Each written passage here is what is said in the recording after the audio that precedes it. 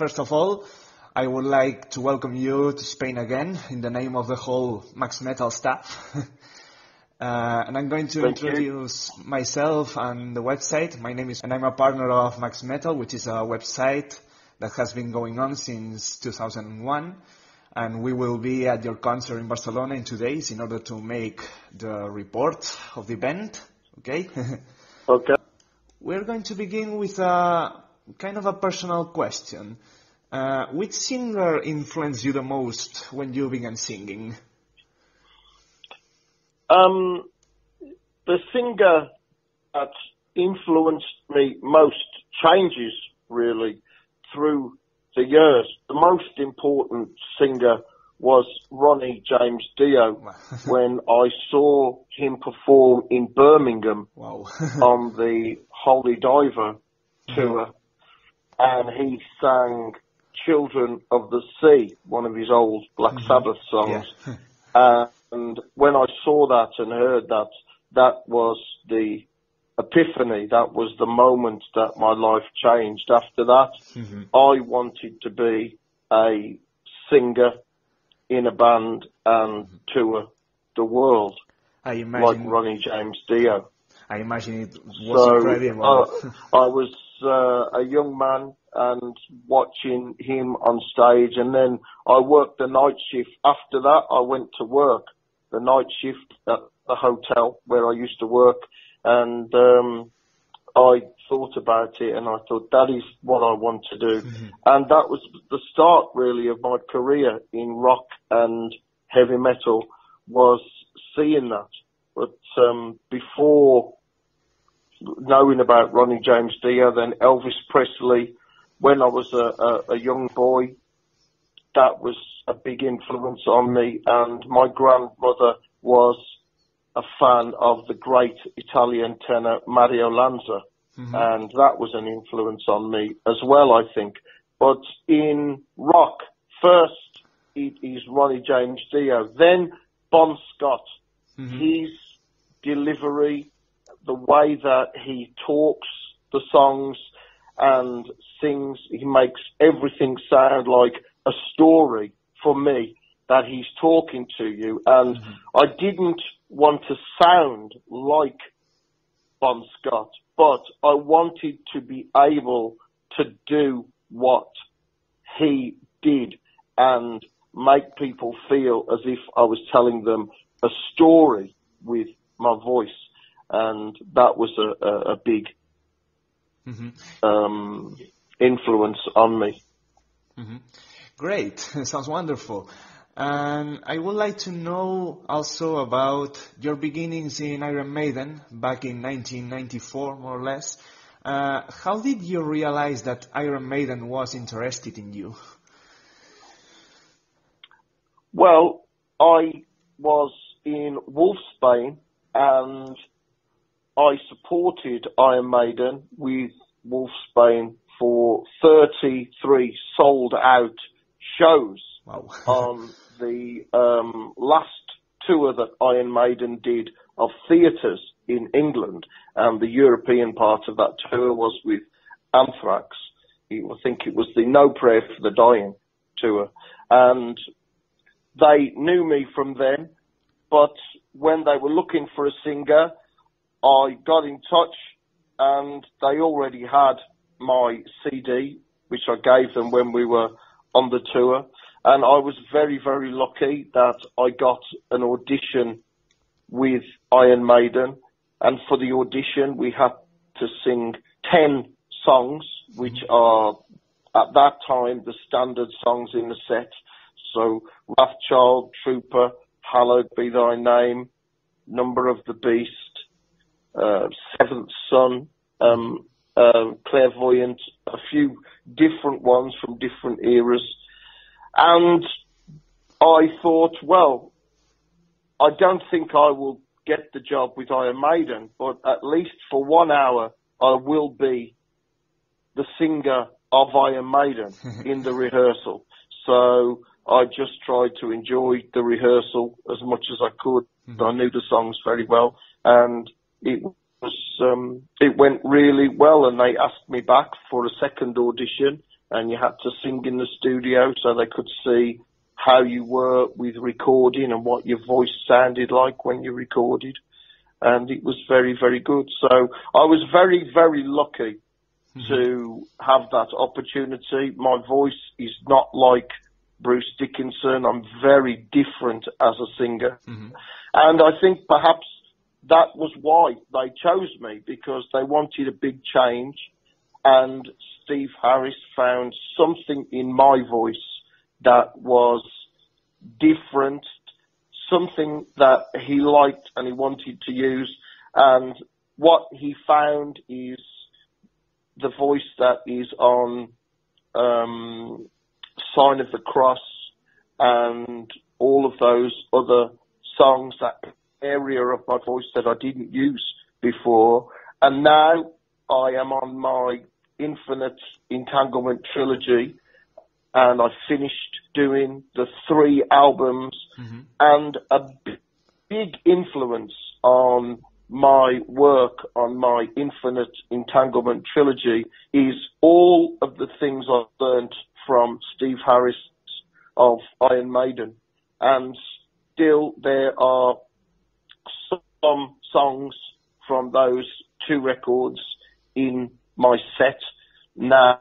It's 20 years ago since I was in Iron Maiden. Mm-hmm. It's the anniversary now of the virtual 11, but still I have a few of those old songs from my era in Iron Maiden. I'm very proud of the time mm-hmm. that I had. and Iron Maiden has had a very big influence on my work. Now I have 10 albums of my own and I'm very proud of these three albums that comprise of the trilogy. It's one big science fiction story told across three albums, and that has uh, been influenced by what I learned in Iron Maiden musically and the songwriting things that I learned. So when I come to España. I'm very, very excited to play many of my new songs from the trilogy, from the Infinite Entanglement trilogy, and a couple of my old Iron Maiden songs. Okay, perfect. Uh, it seems that you answered a lot. Uh, one of the questions that I was going to ask you, I was going to ask you about the set list you're going to play in uh, in Barcelona? You well, said... we we have done a new version. It is my own version of the old Iron Maiden song "Angel and the Gambler." Mm-hmm. We dusted that off. It's the 20th anniversary of Virtual 11, and we wanted to do something different. So we did that and um, so far, fans have really enjoyed Angel and the Gambler, my version of it with the Absolva band. It's gone down fantastic. So um, it's been really, really good. Mm-hmm. Perfect. Uh, you recorded two albums with Iron Maiden. Uh, what is the greatest experience or anecdote that you remember from this period? Well, I think that would be different for everybody, mm-hmm. but the biggest thing for me is learning from Steve Harris. Mm-hmm. He would have an idea in his head and then bring that into the rehearsal and show the band and then make it onto the album. And on my Infinite Entanglement trilogy, I have been able to do that too. I've been able to have the idea and say this is a, a an idea about revenge. This is an idea about sorrow. This is an idea about taking back your life.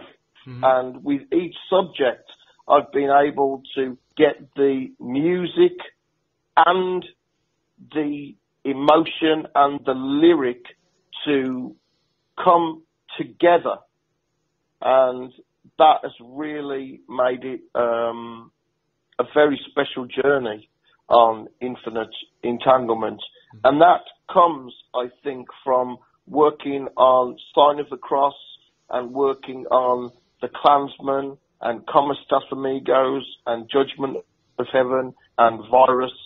Working on all those songs and Futureal is another song that I worked on with Steve Harris. Mm-hmm. So that has all had a big influence on me and I look back at those times and I remember the day that Steve Harris came into the rehearsal room with a bit of paper with some pencil notes on it and he said, what do you think of this? And it was the Clansman. Mm-hmm. It was the rough version of the Clansman. It was absolutely fantastic. Wow. and that is a beautiful, beautiful memory. And when I am working alongside Chris Appleton on my album and we have ideas, it really reminds me of those days. So that that time was a, a, a very special time for me. And I remember being in Spain and in the UK at that time, the journalists said that Iron Maiden was over and Iron Maiden had no future anymore. But we were in Spain and we were playing Zaragoza to 10,000 people. Mm-hmm and we were playing to 11,000, 12,000, 10,000 people every night in Spain. And the Spanish fans still believed in Iron Maiden with me singing. And we really took great comfort from that. And so since those days, I've always wanted to play in Spain and the reaction of the Spanish fans is absolutely wonderful. So I always enjoy coming to Spain and meeting the Spanish fans. Mm-hmm. So on every date of the tour of Spain, there will be a free meet and greet before every show. Mm-hmm. So Great. if you have your Iron Maiden records, your Wolfsbane records, my albums, bring come to the merch desk before the show. I will be there, and if you want a photo or a mm-hmm. signature, it is completely free. It's just you buy the ticket for the show, and you get that meet and greet for free. Wow. I will sign all of your uh, things for you. That sounds so great. that is as a as a thank you to all the Spanish fans who have supported me and believed in me for so many years before every show in Spain, then I will be doing a free meet and greet, signing all the albums, no matter what. Oh, perfect. it sounds great. Thank you very much for uh, that detail. Uh, I was going to ask you also about the fact that uh, in the last few years uh, you have played in Spain several times. Uh, what do you like the most about your fans in Spain?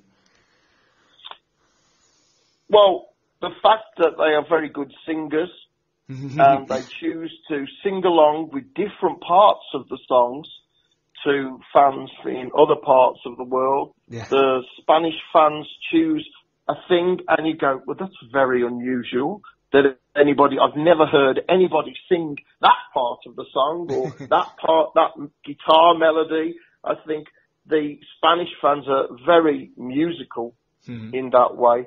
And of course, Spain has this incredible, rich, wonderful heritage of flamenco mm-hmm. and great guitar music from, you know, over hundreds and hundreds of years. So it always feels great to be able to come to Spain and in, in a country that has invented the guitar mm-hmm. to come with my music, which is mostly based around guitar and to be appreciated by the fans is really, really cool. So I always look forward to coming to mm-hmm. Spain. Great. Thank you for the compliments. uh, well, uh, as you already said, uh, both albums you uh, you did with Iron Maiden were not really well accepted at the time because of the great change they supposed. Uh, how is it nowadays? Do people look at these albums with a different perspective, 20 years after? I don't know, but many people come to my shows and they say, the last time I saw you was 1996 or 1998. The last time I saw you was in Iron Maiden in, in Madrid or Zaragoza. So I think, well, that's very unusual because I have done a tour almost with every one of my albums. Mm-hmm. Um, so it seems that uh, people are finding out about me again, and there are many people that know nothing about Blaze Bayley, mm-hmm. and they hear the X Factor album or Virtual Eleven album, and they say Bruce sounds very different on these albums, and then they find out that it's a completely different singer, and some people um, get interested in Blaze Bayley and in my work with Infinite Entanglement album and my first album after Iron Maiden, which was Silicon Messiah, mm-hmm. people get into that because they discover me for the first time after listening to the X Factor or mm-hmm. Virtual Eleven. Yeah. and it seems now with the 20th anniversary of Virtual 11, mm-hmm. and there is so much great music on there with Clansman and Futureal that people are, uh, are thinking, well, maybe I'll listen to that album again. And because the X Factor and Virtual 11 were the beginning of the progressive era for mm-hmm. Iron Maiden, yeah. I think people now listen to them very differently. After Brave New World and after, you know, after a matter of life and death and, and the, all the other albums afterwards, then you go back and you listen to my two Iron Maiden albums mm-hmm. and you hear them differently because then you hear the influences and you hear the seeds of the mm-hmm. beginning mm-hmm. of the progressive era yeah. of Iron Maiden. For me, with my music, I am more traditional. I haven't really changed my music. Mm-hmm. It's still heavy metal. It's not progressive. It's big melody on the guitar, lots of big guitar melodies, lots of big songs and choruses, and I try to make the lyrics make sense and make them interesting and tell a story. So when you listen to the Blaze Bayley album, in comparison to what Iron Maiden do now, it's like listening to the values of an earlier Iron Maiden mm-hmm. before the big long songs. So where my songs are more in the style of Futureal and Man on the Edge and things like this, mm-hmm. then it's a different way of looking at it. So many fans really like both. They like yeah. Blaze Bayley for the heavy metal side of it, for the more traditional British heavy metal, and they like Iron Maiden for this huge, progressive, these fantastic big arrangements, these huge ideas that they have. So it's very nice when people discover Blaze Bayley. Mm-hmm. Obviously. Um, almost 20 years have passed since you left Iron Maiden, finally. Uh, at the current time, how do you value the experience of being the Maiden singer? I think without being the singer of Iron Maiden for those two albums, recording and writing with the band, and then performing the songs that I wrote with Iron Maiden live, then I think Blaze Bayley would be very, very different. So mm-hmm. it's been a big influence and on my Infinite Entanglement trilogy, there are many times now when I look and I go, you know what, that song is like that because I was in Iron Maiden. Mm-hmm. So the on the YouTube channel there is a song called Prayers of Light, which is the first song that we chose from my new album, The Redemption of William Black. And that song, Prayers of Light, you can really feel the Iron Maiden influence on that, I think. Mm-hmm. Great. Uh, now uh, we're going for a tricky one. if you were offered an invitation or something like that to an Iron Maiden concert in order to sing some some of the songs from your period, would you accept?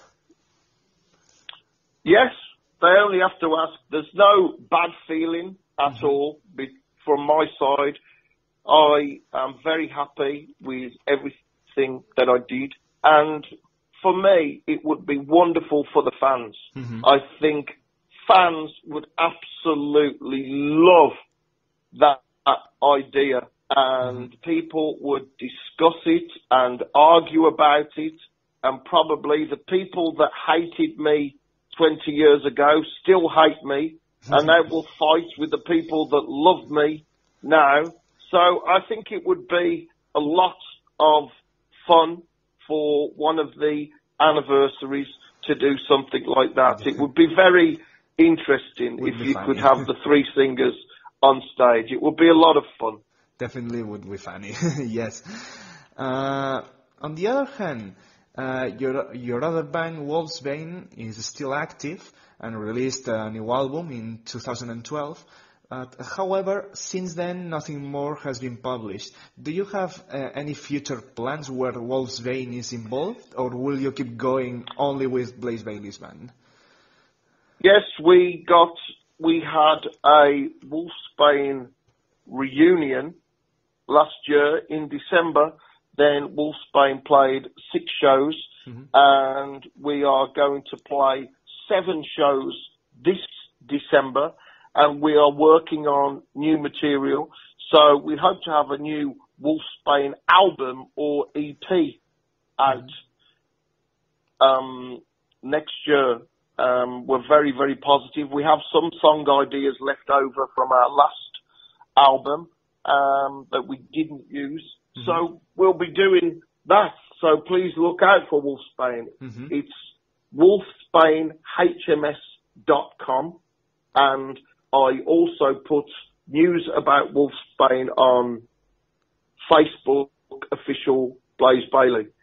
So please keep a lookout there and we'll tell you what we're up to. But there are seven shows in the UK this year in December with Wolfsbane and we're all very excited about it mm-hmm. and we hope to have a new EP mm-hmm. ready nice, nice by then. the last things that we did were Wolfsbane Saves the World and Wolfsbane Rock. Mm-hmm. So we're very excited about the next Wolfsbane project. Great. It's new. Uh, it's uh, it's always great to. It's always nice to uh, hear about news from uh, Wolfsbane too. Uh, but now uh, your band is now presenting uh, its new release, the Redemption of William Black, the third of the trilogy of Infinite uh, Entanglement. Uh, what will the, uh, the Blaze Bayley fan find in this album? The Redemption of William Black is part three of my trilogy, and it is the ending of the story of this character that starts a journey of a thousand years. He does not know if he is human mm-hmm. and he has done many bad things in his past that he wishes to atone for. And on part three, this is where he finds his redemption on a new world with the indigenous population he becomes a brother of those people because the new conquistadors from Earth planned to obliterate all intelligent life. They only want genetically perfect DNA on the new world. And so William Black decides to become the champion and the hero of the Indians and defend them and fight alongside them against the new conquistadors. Mm-hmm. Wow. Sounds an interesting story, with no doubts. That's great. Um, as I have noticed, uh, your band usually changes its lineup practically in, in each tour. Uh, what's the reason for that? Well, I've had the same band for the last five tours and five albums. I've been working with Chris Appleton and the Absolva band on the last five tours. And so far, fans have really enjoyed this mm-hmm. having the same band all of the time.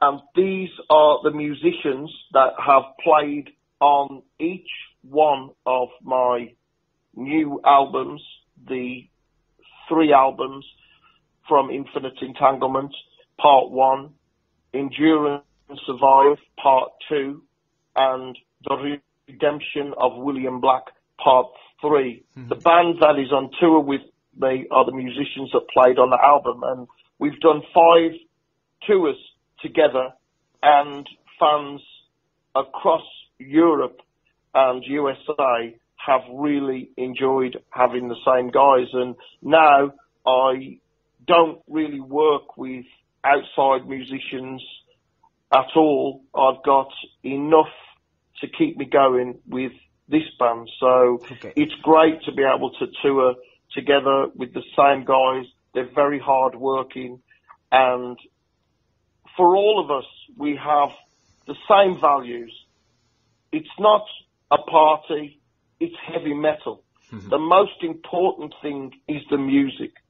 And that's how we all feel about it. No one drinks alcohol before the concert. No one gets trashed on whiskey and drugs. The most important thing is the music and performing well for the fans that support us. I am completely independent. I'm not with any record company. Mm-hmm. The people that support me are my fans directly. When they order from my website, when they pre-order my album, when they buy my t-shirts, when they buy my CDs, when they buy the concert tickets, that is how I continue. I'm not mm-hmm. supported by anybody else. So the fans have a very special place in my heart, and I think my fans are the best fans.